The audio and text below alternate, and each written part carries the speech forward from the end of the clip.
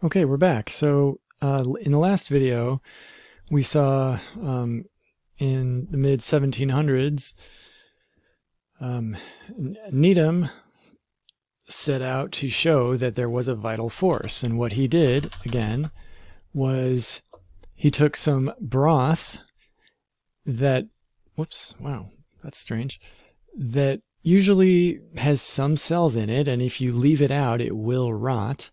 He boiled it to kill those cells, sealed it so that no new cells could get in, and then it rotted. So somehow cells grew despite the fact that he boiled them. So what's going on with this?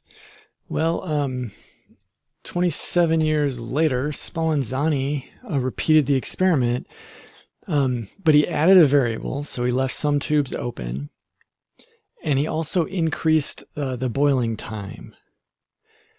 Um, so, what did he find? Well, his stoppered tubes did not rot. So, um, again, what that means is that what we would expect to happen happened, where, let's see, I guess I didn't draw that, but what we would expect to happen is if if you start out with some cells in some broth um, and you whoops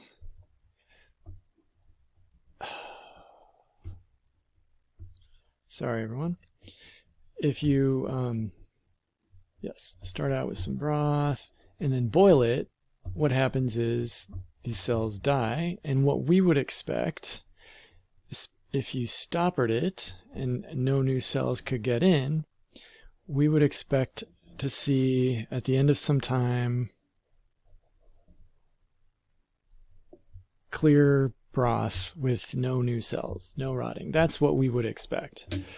Um, that's not what Needham found, right? His tube still rotted, so he could say a vital animating force got in there and replaced the dead cells. Spallanzani did the same experiment, but he increased the boiling time, and he found that um, what we expect to happen happened, and no vital animating force got in there. Nothing like that happened, and no new cells were created. So what's going on here is um, it takes some time to kill bacteria. As we will see uh, when we get to the lecture of the control of microorganisms, um, you can't instantly kill a bunch of bacteria through heating or bleach or any other method. Even incineration, if you threw them into the surface of the sun, um, would take a finite amount of time to die. And so in th- this is a case where boiling is a slow method of killing them. And Needham didn't boil them long enough. And some of the cells in Needham's experiments survived. And so they then replicated or uh, reproduced like this kind of thing. Um, and his tubes rotted. No vital force necessary. Um, right. And so Spallanzani showed that um, if um, if he boiled the tubes lo- longer, they would stay sterile. But he also added a variable, right? He added a variable where he had tubes that he boiled that had cells in them that presumably got killed during the boiling um, that's why I X'd these out. Presumably that got killed during the boiling. But he left these tubes open. And after a certain amount of time, they were full of microorganisms. They rotted. They were full of microorganisms. Um, so, what's the difference between an open tube and a stoppered tube? In Spallanzani's experiment, that's the variable that mattered, right? That's the difference between bacteria growing in the tube and no bacteria in the tube. So, um, right. So Spallanzani got those results. Does that contradict spontaneous generation of animalcules? Well, maybe. Um, I mean, I have been showing you what a modern microbiologist knows happened in those experiments, but they didn't know what was happening. They were trying to figure it out. Um, so Spallanzani had our interpretation. He said that he killed the cells, and since it was sealed, no new cells came in, so it didn't rot. If he left it open, new cells came in to replace the ones that died. That was what Spallanzani said happened in his experiments. Needham thought Spallanzani had killed the vital force. He had boiled the tube until even the vital force was dead. So, um, how can you argue against that? Yeah, how how could you um, how could you respond to someone saying the vital force is necessary for creating cells? That's a very difficult thing in biology and science and in anything we do when we try to explain the world around us.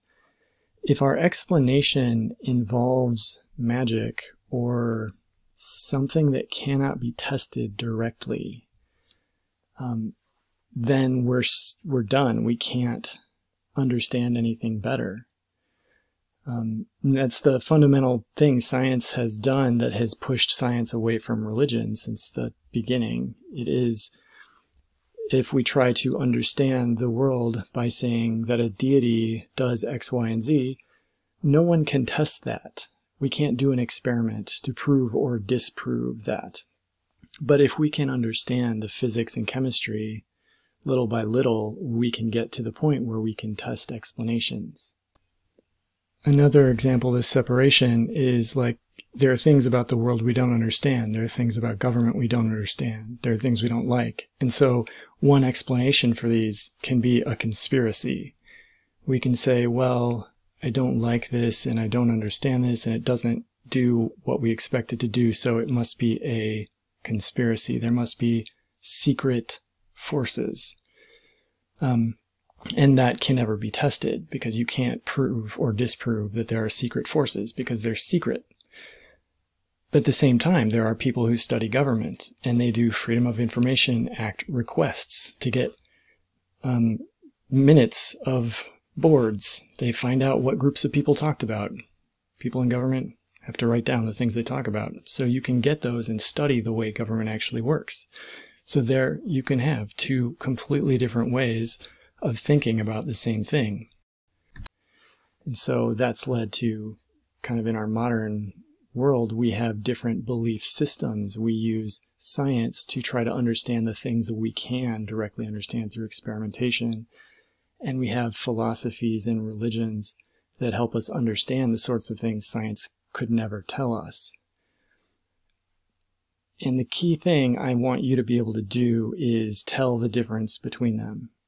And so when we look at when we look at things like spontaneous generation we are seeing people who don't yet have the understanding they need, they don't yet have the background information they need to come up with a good explanation.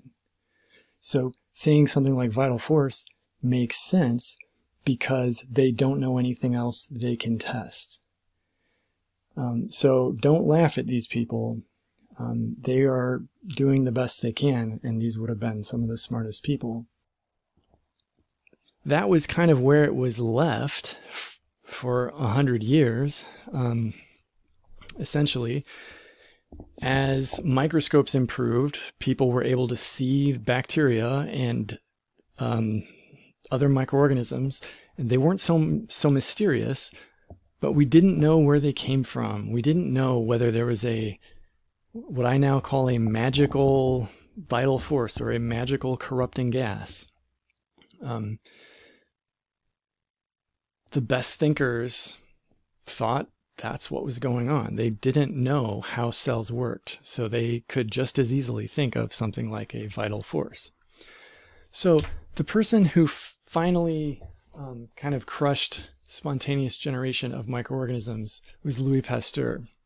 And he did a series of experiments using flasks and um, sterile broth. So this is very similar to what I just showed you with Spallanzani. The same idea where he'd boil broth until it was sterile, and then he'd seal a flask or not seal it, and then let it incubate. So what do you think would happen in this one? And what do you think would happen in this one? Go ahead and pause this video, predict what you're going to see, and then start it again. Three, two, one, pause. Well, as Spallanzani saw, um, Pasteur would see that if he left this open to the air, um, this would rot, or microorganisms would would grow and appear. And if he didn't, uh, they wouldn't. So, um, and again, Needham might have said, "Well, you're killing the vital force uh, by boiling it so much," um, and that's why um, the well, I don't know. So people looking at Pasteur's experiments could um, could say that uh, the the heat killed the corrupting gas, and so new corrupting gas would have had to get in to create new cells, or something like that. So Pasteur had to design a system that is similar to what we've seen, where there'd be growth or no growth, where he could sterilize the meat, the, the broth first to get rid of any or any organisms that were present at the beginning, kill them, and prevent new organisms from getting in while still allowing gases to get in and still allowing magical electrical things flying through the air getting in. Um, and so what he designed was his famous swan necked flask that looks like this. It has a very long neck. And he could start by boiling it. And one thing he could do would be break off the top. So now it's open and microorganisms would appear. But if he didn't do that, he wouldn't get any growth, even though this is technically open to the air. So we now know oxygen can very slowly diffuse in and carbon dioxide can diffuse out. Other gases, nitrogen, can go both ways. Because um, this is just a long open tube. But what we now know is dust and solid objects like bacteria would collect here and they would not be able to go back up like this. Dust is, after all, uh, the biggest source of contamination in microbiology labs. Dust is lots of different things. It's lots of different small solid objects, but what they all have in common is they all have bacteria on them, or they all have fungal spores on them. So dust is what can settle out of the air and bring microorganisms with it we would now predict that in, a, in this kind of a flask would stay sterile as long as this whatever was trapped here never touched um, the liquid. So if there was miasma or corrupting gas, it could have gotten in, but it didn't. Um, this is evidence that there was no miasma because this will stay sterile forever as long as this doesn't touch the, the broth. Um, same thing with vital forces that no one could explain. Um, they they can't pretend that a magical electrical force um, would be excluded by this tube. And the final um, nail in the coffin of this is Pasteur then rotated the flask. He tilted it so that some of the fluid would get to there, and then he'd allow that to go back in, and it would rot. So he could then basically expose this liquid to this dust. So this is the the experiment that disproves spontaneous generation of bacteria to most scientists. And so um, people who are aware of this in the 1850s um, knew that they needed to think of a different way that um, a different way to explain uh, creation of of microorganisms. Um, so, yeah, Louis Pasteur, we could say he disproved spontaneous generation of microorganisms. We now can say that the cell theory is a better way to um, explain microorganisms than um, than anything with vital forces or miasma, corrupting gases, whatever. We we have the cell theory, um, and Pasteur would have been aware of it, and he didn't advance the cell theory, but he did disprove spontaneous generation, which would have been competing with the cell theory. Pasteur also separately tried to popularize the germ theory of disease. Again, this is the theory that microorganisms are responsible for infectious disease. He tried to show this. He tried to uh, demonstrate um, very clearly that microorganisms cause infections. Um, but he wasn't able to um, ever in his life do that. And we'll come back to that because um, we're going to look at two more historical. Um, we're going to look at basically two two more people and the historical things they did. Um, maybe three. I guess we're going to look at three.